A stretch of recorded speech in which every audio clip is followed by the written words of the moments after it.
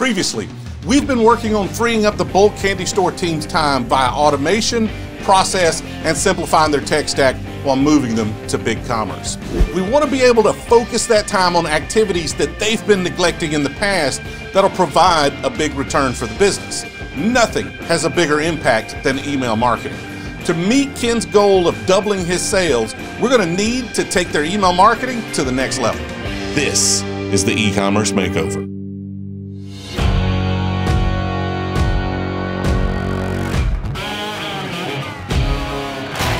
Any successful e commerce business is going to owe a lot of that success to email marketing, yet it rarely gets the attention it deserves in a small business, which may be the reason that a lot of those don't become big businesses. Let's talk to Ken about what he's been doing thus far and see what kind of opportunity we have to get that growth we seek via email. How important is email marketing to your business? Email marketing is fundamental to our business. A large portion of our traffic and our sales come from emails. Email is very important to us. I think that email and SMS are a tremendous opportunity for us to expand the business. Our conversion rate on email is fairly high, but I know if we were doing better, more concentrated, and more personalized emails, it would be much higher in email. What technologies are you using currently? We're using MailChimp at the moment. We'd be willing to look at another solution if it offered some of the things that, that we are not doing now. For example, I really want more personalization in, in, in our emails. I want to be able to note that a customer has bought 17 of these in the last two years. When I send an email to them, I want that email to say, hey, you bought this before, come buy it now, it's on sale. I want to capture your birthday and be able to send you something special. And I would like a little tighter connection between my website and the email program. I'd like to know more about my customers and what they ordered and when they ordered so we can set up um, campaigns. MailChimp may have some of these things, but they are a little complicated.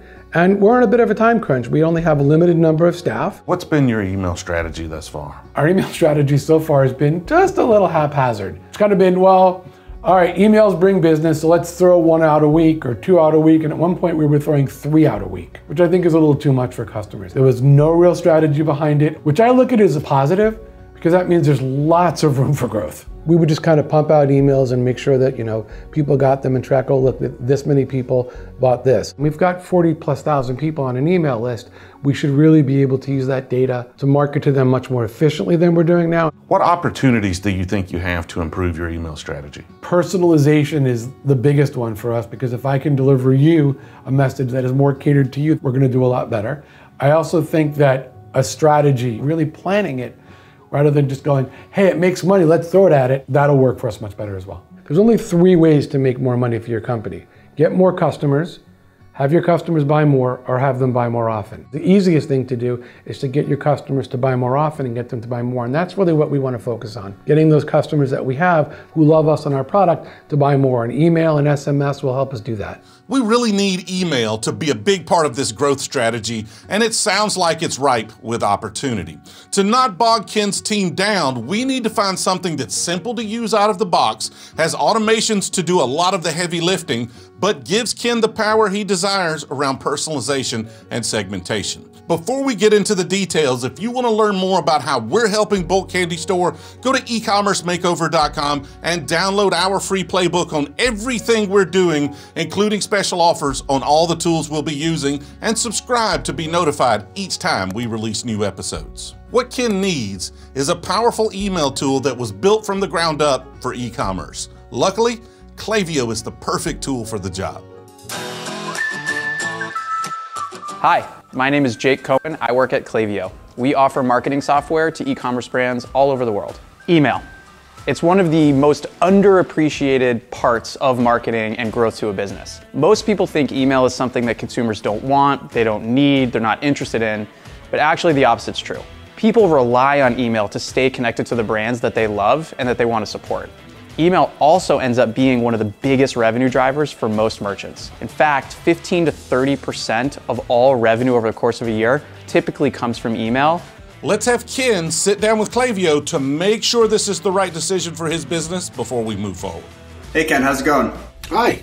My name is Hunter. Uh, I'm from Klaviyo. I'm an account exec over here, and my job is just to make you feel comfortable that Klaviyo is the right solution to add value for your business. Great. Nice to meet you. Looking forward to learning. Walk me through what the current strategy is in terms of email today. We have a fairly robust list of email customers. I don't think we're utilizing that list to the best that we can. We're using MailChimp at the moment. I certainly haven't used all of the features, but I know we could be doing a lot more with our email. I like the ability to really add more personalization to our emails and really drill down into our customers because I think that's where that's where the internet's going. We were one of the first candy stores online originally, and now we're one of hundreds and we need to differentiate ourselves and one of the ways really by being able to capture customer data and use that data to serve them better.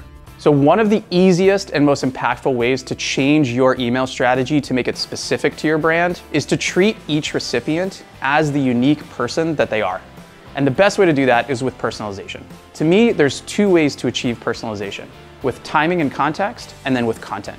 For timing and context, you want to think about using flows to trigger certain messages to go out based on behaviors that people demonstrated. The other side is in content in content, it is super important to change what you have in the content to be specific to that recipient. And what ends up happening from a consumer's perspective is it seems like this brand cares about me. And as a result, I'm much more interested in engaging with that brand and I'm much more likely to purchase. What are your thoughts on SMS? We definitely want to consider that. I know that I at least read my my text messages more than I read my email. Obviously, email's not going anywhere. But when you think about sort of like the newer generations in communication via SMS, like it becomes a lot more timely. And you think about, okay, you have 50,000 names in your database to your point, like there might be a lot of people in there who prefer to communicate via SMS. What, what folks typically see when they incorporate SMS with Klaviyo is an 11% increase in Klaviyo attributed value. So if you're already seeing X, you're going to be able to see, you know, 11% more revenue just as the nature of you know, setting up SMS there. So lately, I've been hearing a lot of questions about SMS.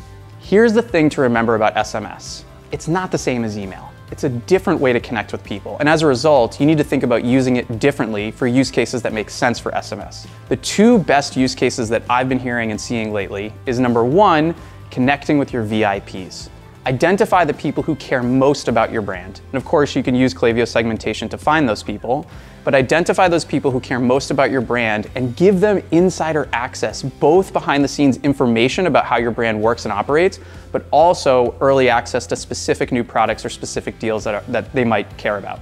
The other way to use SMS is to give people who are starting to become familiar with your brand an opportunity to connect on a more intimate level that's frankly tends to be more uh, in line with younger generations and how they want to connect with brands. Be human, be accessible. Allow people to text you and ask questions and staff your team with the tools to respond to them via SMS so that it doesn't feel like a stodgy one way relationship where you're shouting something at your customers, but they're reaching out and building an understanding of what you are as a brand and why your brand matters in their life. When you're thinking about lifting a channel, how important in that is sort of visibility to performance and insights for you? It's massively important because number one, you need to know where you are to know where you're going and you need to know what works. We have so many folks over at Klaviyo that are kind of in the same industry, food and beverage, and even sort of the candy store specifically. What we actually give you the ability to do is we have this benchmarking feature. So we look at your business, we look at your growth rate, we look at your revenue, we look at your industry, we look at how often you send emails or SMS, and we can find 100 Klaviyo customers that look the most like you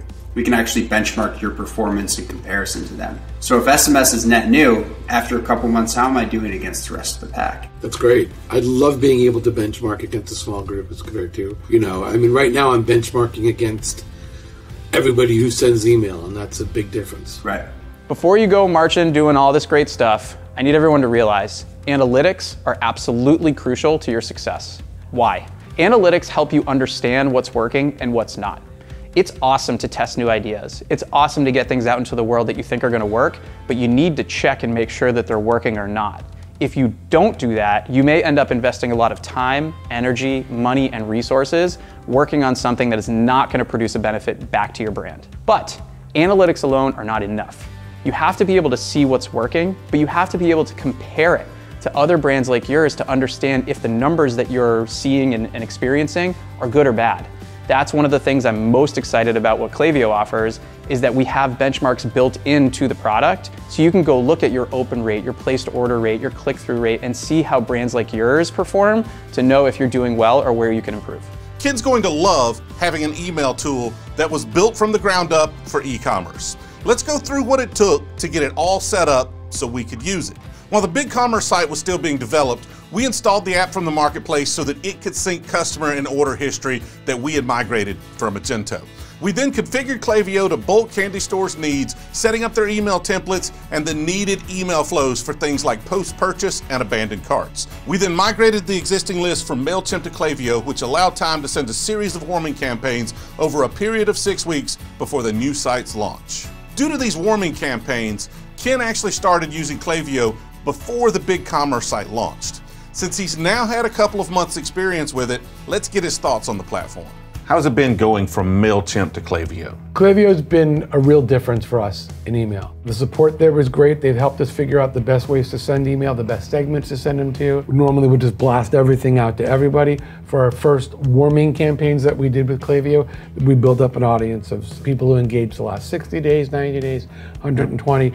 And as we do that, the interesting thing is we're seeing more and more engagement and we're seeing more and more revenue. In the past, we were offering people the opportunity to click a link if they wanted to get notified when a product was back in stock. With Klaviyo, what I've noticed is that when people do that, I get it automatically without even looking. I get an email every night telling me how many people have asked for what product. That's a game changer in some ways. For example, we were out of vanilla bullseyes. They're the little caramel cream sure. with the little white center. I had 12 people looking for them. I got them back in stock, I sent it in, and I got four or five orders that day. So it's really good because but prior to that, I, I never knew what it was I was out of that people really wanted. Now I know, and they just send it to me every. I don't have to hook it up. I don't have to do anything.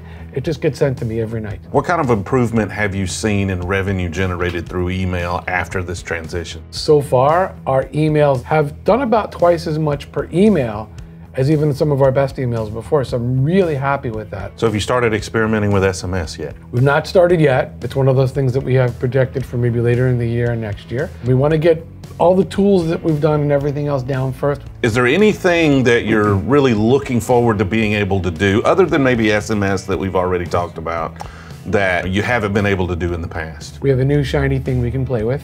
And we're gonna I want to really dig in there and say, what are the tools I can use?